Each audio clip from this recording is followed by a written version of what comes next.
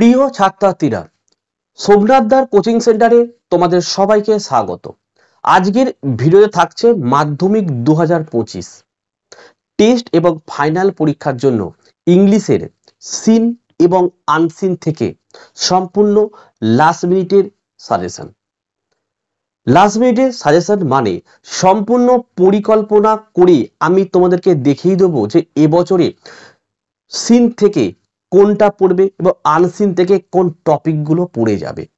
তোমরা জানো সিন থেকে প্রায় কুড়িটা নাম্বার থাকে এবং আনসিন থেকে আঠাশ নাম্বার থাকে। তো এই সিন আনসিন হচ্ছে সম্পূর্ণ প্র্যাকটিস কোনগুলো প্র্যাকটিস করবে সেটাও বলে দেবো। সিন থেকে কোন কোন পোয়েট্রি এবং কোন প্রোজটা এবছরে আসতে চলছে সেটাও আমি তোমাদের সম্পূর্ণ প্রমাণ সহ দেখিয়ে দেবো এবং নিজেরাই বুঝতে পারবে যে না দু হাজার পঁচিশ সালে এইটাই পরীক্ষায় আসছে। এইভাবেই আমি তোমাদের কিন্তু বুঝিয়ে দেবো। কাজেই তোমাদের ভিডিওটি একদম প্রথম থেকে শেষ পর্যন্ত দেখতে হবে। ঠিক আছে? ভিডিও ভালো লাগলে একটি লাইক করবে এবং চ্যানেলে নতুন হলে চ্যানেলটিকে সাবস্ক্রাইব করবে এবং পাশে থাকা বেল আইকন প্রেস করে অল নোটিফিকেশনটা অবশ্যই অন করে দেবে যাতে আমি যখনই কোনো ভিডিও আপলোড করব, সবার প্রথম যেন তোমার কাছে পৌঁছে যায়। তো চলো আমরা সাজেশনটি শুরু করি। মাধ্যমিক দু হাজার পঁচিশ, ইংলিশ। সিন থেকে থাকবে কুড়ি নাম্বার। তো আজকের এই ভিডিওতে তোমাদের সিন এবং আনসিন। কোথা থেকে কত নাম্বার পরীক্ষায় আসে এবং দু হাজার পঁচিশে কোন সিন এবং কোন আনসিনগুলো পরীক্ষায় আসতে চলেছে, সমস্ত কিছু আজকের এই ভিডিওতে আমি আলোচনা করব। দেখো, এই সিন থেকে টোটাল কুড়ি নাম্বার থাকে এবং কুড়িতে কুড়ি পাওয়া কোনো ব্যাপার না। সিনকে আমরা দুটো পার্টে ভাগ করতে পারি। একটা হচ্ছে প্রোস সেকশন একটা হচ্ছে পোইট্রি সেকশন প্রোস সেকশন থেকে দেখো বারো নম্বর তোমাদের পরীক্ষায় থাকে।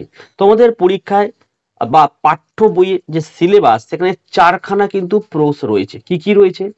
এক নম্বরে দ্য ক্যাট দু নম্বরে আওয়ার রানওয়ে কাইট তিন দেখো দ্য পাসিং অ্যাওয়ে অফ বাপু চারে দেখো ফাদার্স হেল্প তো এই চারটের মধ্যে দু হাজার পঁচিশ সালে কোথা থেকে সিন পরীক্ষায় আসবে? শুধু আমি বলব না, তোমরা নিজেরাও বুঝতে পারবে যে এবছরে এখান থেকে সিওর কমন আসছে।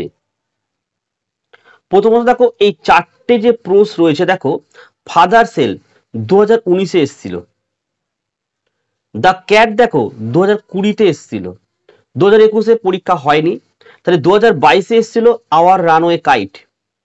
The passing away of Bapu এসেছিল দু হাজার তেইশে তাহলে এই চারখানা দেখো দু হাজার উনিশ থেকে দু হাজার তেইশ কিন্তু পরপর একবার করে চলে এসছে। আবার দেখো দু হাজার চব্বিশ সালে কোনটা এসছে দেখো? ফাদার সেল দু হাজার উনিশ সালে এসেছিল এবং আবার দু হাজার চব্বিশ সালে এসেছিল। তাহলে এবারে তোমরা নিজেরাই বলো, কোনটা পরীক্ষা আছে বছরে? সবার থেকে বেশি চান্স হচ্ছে আমাদের দ্য ক্যাট কারণ দু হাজার উনিশ সালে এসেছিল, দু হাজার কুড়িতে এসেছিল, বাইশে, তেইশে, দেখো, দু হাজার উনিশেরটা আবার দু হাজার চব্বিশে এসছে ফাদার সেল তাই দু হাজার পঁচিশে সব থেকে বেশি গুরুত্বপূর্ণ হচ্ছে দ্য ক্যাট বোঝা গেছে? বাই চান্স যদি দ্য ক্যাট পরীক্ষায় না আসে, তাহলে তোমরা ধরতেই পারো যে আওয়ার রানওয়ে কাইট পরীক্ষায় আসছে। এবং তারপরে যেটা সব থেকে গুরুত্বপূর্ণ দ্য পাসিং অ্যাওয়ে অফ বাপু যেটা দু হাজার তেইশে এসেছিল। তাহলে এবছর দু হাজার পঁচিশে টেস্ট পরীক্ষা এবং ফাইনাল পরীক্ষায় এই তিনটে the cat our runway kite এবং the passing away of Bapu এই তিনটের মধ্যে একটি পরীক্ষায় আসছে। তার মধ্যে সব থেকে বেশি গুরুত্বপূর্ণ দ্য ক্যাট দু নম্বরে আওয়ার রানওয়ে কাইট তিন নম্বরে দ্য পাসিং অ্যাওয়ে অফ বাপু তাহলে এই তিনখানার যে তোমাদের প্রোস রয়েছে রিডিং বেঙ্গলি মিনিং ভালোভাবে পড়ে, তোমাদের যে কোনো টেস্ট পেপার তোমরা বারবার যদি প্র্যাকটিস করতে থাকো, তাহলে এখান থেকে বারো নম্বর তোমরা অবশ্যই পাচ্ছ। এবার আমরা দেখব পোয়েট্রি সেকশন দেখো পোয়েট্রি সেকশন থেকে তোমাদের আট মার্কস কিন্তু পরীক্ষায় থাকে। এই আট মার্কস তোলাও কোনো ব্যাপার নয় জাস্ট একটু বুঝে নাও এবছরে কোন পোয়েট্রিটা পরীক্ষায় থাকছে। একটু দেখো, এই যে মাই ওন ট্রু ফ্যামিলি দু হাজার উনিশে এসেছিল। দেখো স্নেল এসেছিল দু হাজার কুড়ি সালে। দু হাজার একুশে পরীক্ষা হয়নি, তাহলে বাইশে এসেছিল ফেবেল আর তেইশে এসেছিল সি ফিভার তাহলে দু হাজার উনিশেরটা দেখো দু হাজার চব্বিশে এসছে। মাই ওন ট্রু ফ্যামিলি তাই তোমরা বুঝতে পারছ, এবছর সব থেকে বেশি গুরুত্বপূর্ণ হচ্ছে দ্য স্নেল যেটা দু হাজার কুড়ি সালে এসেছিল। এবং দু হাজার পঁচিশে এটাই আসতে চলেছে বিভিন্ন স্কুলের টেস্ট পরীক্ষা। এবং ফাইনাল পরীক্ষায়। কিন্তু ফাইনাল পরীক্ষায় কিন্তু দ্য স্নেলি আসার চান্স সব থেকে বেশি। বাই চান্স যদি কোনো মিস্টেক হয়, সেক্ষেত্রে কিন্তু ফেবেল পরীক্ষায় আসছে। তারপরে হচ্ছে দ্য সরি সি ফেভার তাহলে এই মাই ওন ট্রু ফ্যামিলি এটা তোমাদের পড়ার কোনো দরকার নেই। এই তিনখানা ভালোভাবে রিডিং বেঙ্গলি মিনিং যে কোনো টেস্ট পেপার এবিটিএ বলো ডাব্লিউবি যে কোনো টেস্ট পেপার তোমরা বারবার প্র্যাকটিস করো, তাহলে সিন থেকে বারো আর আট, কুড়ি নাম্বার তোমাদের হাতের মুঠোয়।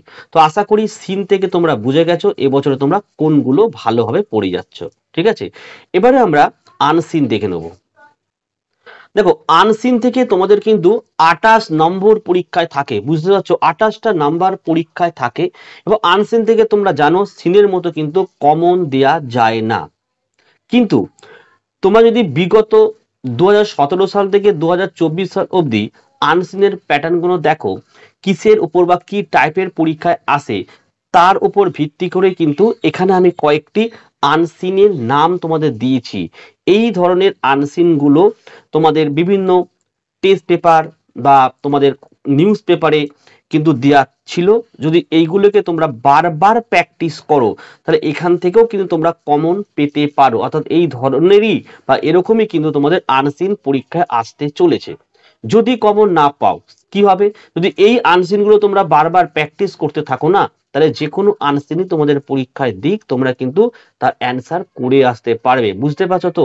আঠাশটা নম্বর কিন্তু পরীক্ষা থাকে। যদি আঠাশ আর কুড়ি, আটচল্লিশ আর তোমাদের প্রজেক্টের দশ দেখো ফিফটি এইট কিন্তু এখান থেকেই পাওয়া যায়। বোঝা গেছে? তো দেখো দু হাজার পঁচিশ সালের জন্য সব থেকে বেশি গুরুত্বপূর্ণ, দেখো আমি এখানে এক নম্বরে রেখেছি। দেখো বালেশ্বর ট্রেন অ্যাক্সিডেন্ট দু নম্বরে দেখো আইসিসি ক্রিকেট ওয়ার্ল্ড কাপ দু হাজার তেইশ। খুব গুরুত্বপূর্ণ কিন্তু এই দুখানেই। ঠিক আছে? দুটো খুব গুরুত্বপূর্ণ। দেখো, তিন নম্বরে দেখো সাইক্লোন সাইক্লোন কিন্তু বিগত আমাদের সাত আট বছরে অনেকগুলো ঘটেছে। তোমরা বিভিন্ন টেস্ট পেপারে যে সাইক্লোনগুলো রয়েছে, তার উপর কিন্তু তোমরা আনসিনগুলো বারবার প্র্যাকটিস করো।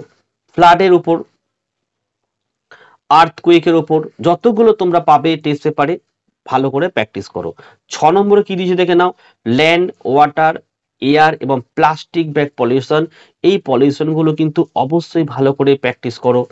সাত নম্বরে দেখো গ্লোবাল ওয়ার্মিং আটে হচ্ছে ট্রি প্ল্যান্টেশন এই ধরনের আনসিনগুলো যদি তোমরা বারবার প্র্যাকটিস করতে থাকো, তাহলে কিন্তু এই আঠাশ নম্বর পাওয়াটাও কিন্তু কোনো ব্যাপার নয়। তো এই ছিল আজকে তোমাদের সিন এবং আনসিন থেকে সম্পূর্ণ সাজেশন ভিডিও কেমন লাগছে অবশ্যই কমেন্ট করে জানাও।